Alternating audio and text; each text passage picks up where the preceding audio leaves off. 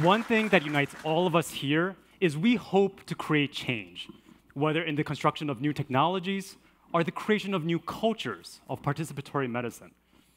I study how culture change occurs in vivo on hospital units. And what motivates me is what I think is one of medicine's deepest, darkest secrets.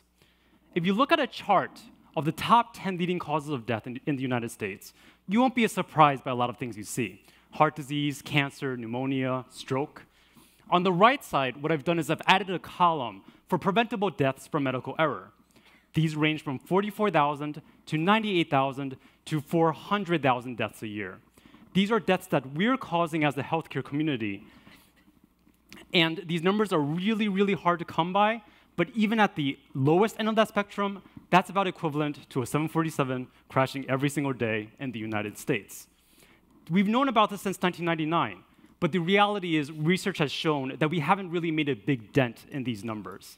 And my question as a student has been given what we know, that it's a major public health issue, and that healthcare historically has been at the forefront of innovation, why is it so hard for us to change healthcare? I'm coming at this through the tools from anthropology. So as an anthropologist, I study cultures in the same way that an anthropologist might study culture in a far-off tribe in a jungle. However, instead of studying that tribe in the jungle, I study doctors, nurses, patients, people who work in the hospital, basically everyone in this room. And I use the same tools. I try to understand how people understand their culture from their perspective. Through the eyes of an anthropologist, the hospital looks like a really weird place. People wear bright colored uniforms that seem to delineate both class and caste. There's elaborate rituals of scrubbing and rounding, and people wear magical amulets around their neck, and they walk around and place them in healing gestures onto patients. It's a pretty weird place. Let me show you a few things that I found from two years of fieldwork and also three years of training to become a native healer myself as a medical student. The first is that tribes exist. An anthropologist might define a tribe as a group of people who share common ideas, cultures, beliefs, or descent. It's no longer about the doctor patient relationship. It's the doctor, patient, nurse, everyone else you see up there relationship. The hospital is a really big place.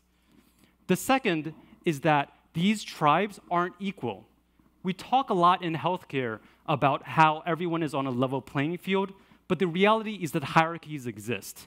This is a diagram of an organizational chart that I've been making to sort of tease out exactly how hospitals function. And what I found is that a lot of the power structures span disciplines, but are primarily contained within and are the results of historical quirks rather than any sort of conscious engineering.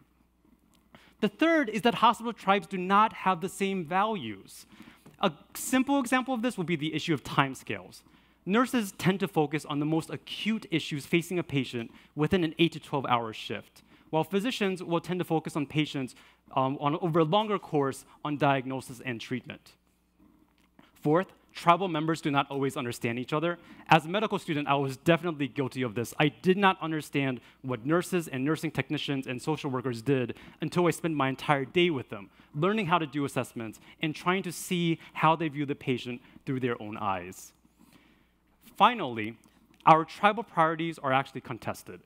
This is a study that was published in 2012 um, that actually found, that, it's a national study, that actually found that the most satisfied patients actually had more hospitalizations and also were the most likely to die. We talk a lot about patient-centered care and patient satisfaction as being universal values, but the reality is that they're still contested. So why should you care? Let me tell you what's at stake with an example of what happens when you don't. This is the WHO Surgical Safety Checklist. We have fantastic evidence of, of its ability to decrease mortality in operative settings. Um, and this has been sort of confirmed with research worldwide. What happens is when you send medical students to audit the surgeons, as they did in this study, you'll find that compliance rates of even just the check-in procedure ranges from 99% to 48%. Huge variation. On some of them, they drop as low as 9% of completion. So my message is this. We tend to view checklists, and I view checklists as the simplest form of technology, but we tend to view change in healthcare settings as technical. The reality is that all change in healthcare is actually social and cultural, requiring changes in relationships, beliefs, workflows, resources, and culture. And if we recognize that, we need to all become anthropologists. We have to understand the system, we have to understand the people who work and live within it.